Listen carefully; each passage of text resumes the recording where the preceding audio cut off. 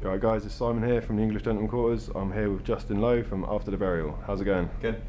Cool. So how's the tour going so far? It's going great. Um, we're about 11 days in, and uh, every night has been crazy. And we started it off with uh, two days in Russia by ourselves, then we met up with the tour, and to be honest, it's, it's you know one of my favorite tours I think we've ever done so far, and the crowd response is like overwhelming every night, and it's uh, it's a really cool experience to be over here. What's it like touring with the other bands? What they like? It's awesome. Like we're all friends, you know, and it's like it's cool because everyone is bringing a com- something completely different, you know, to the table musically, and I feel like all the bands like really are fitting and blending together well stylistically and like basically just putting on an overall like pretty hopefully a satisfying concert experience for everybody that uh, that comes and checks it out. So yeah. Did you know all the bands before you uh, met up? Um, yeah, uh, we you know we met Monuments before. We hadn't met the Haarp Machine yet, but uh, Born of Osiris are good friends of ours. We've been playing shows together since we started. Like our band started in like 2004. Are you from the same area? 2005. No, we're both from the Midwest. They're from Chicago. We're from Minneapolis. It's about an eight-hour drive.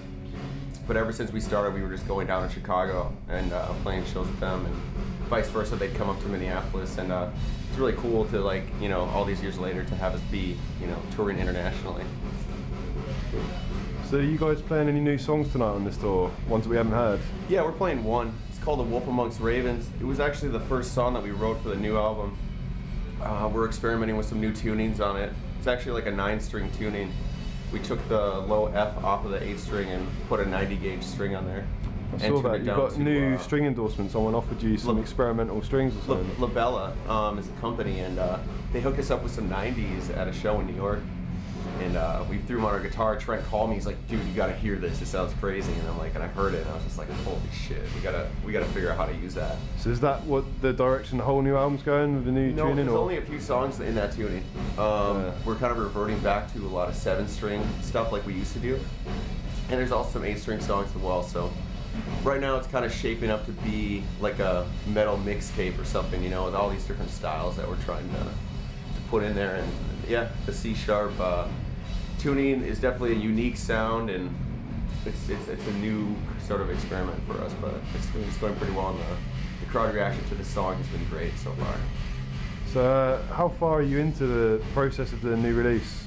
Um, we're actually ready to start recording uh, when we get home from this tour in about two weeks. Yeah. So uh, we So you- start tracking. everything's written, yeah? Yeah, yeah, yeah. We're it's almost done. Um, you know, when we get in the studio, sometimes like you know we might end up writing a little bit more, but but as of now, like yeah, we're pretty much set to go. Um, can you explain your writing process? Um, it's kind of tough because our singer lives in California, and our drummer lives about six hours north of us in Minnesota. But through the internet and like sending demos and stuff, everything is like, it's pretty. Um, it, it, it makes it possible for them to live, you know, not in the same city as us. And a lot of times I'll demo stuff and I'll send it to the band.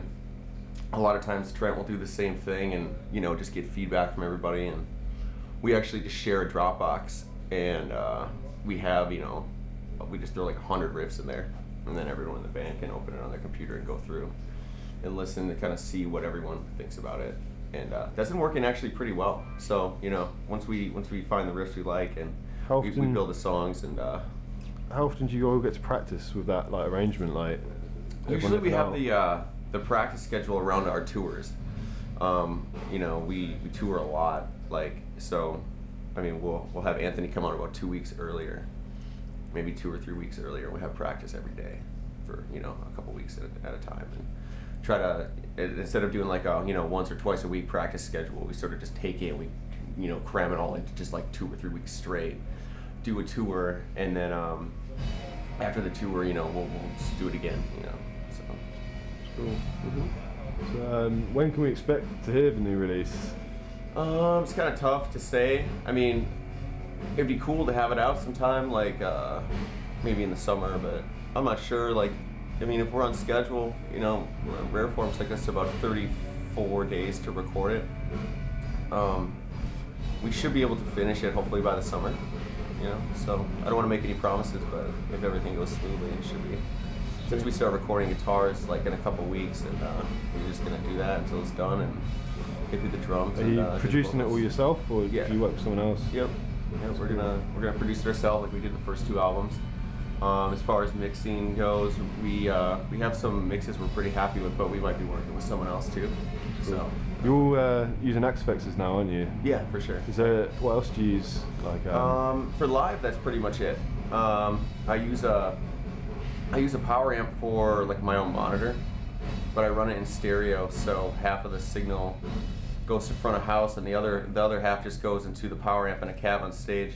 Mainly because what I like to have come out of the cab probably wouldn't work out of the PA because it's so scooped, and there really isn't a whole lot of mid going on. So I found that I can get the sound I want on stage just by running a completely different channel with a different EQ and everything, and uh, kind of just try to match that level with what my um, my DI line is that's going to the front of house. And so far it's been working. I mean, it makes touring internationally a lot easier because I literally just take the Axe-Fx in a little bag on the airplane with me, you know, show up and play anywhere with it. It's cool. cool. Yeah. So, have you got any future tours or dates planned you should plug?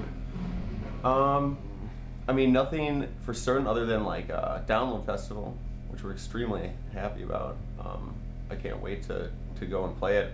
Uh, we're, we have a, uh, a small handful of festivals lined up right now in the beginning of the summer. And uh, once the new CD comes out, I'm sure we'll be announcing some more stuff. It's cool. Cool. Thank you for your time. Yeah, for sure. Cheers.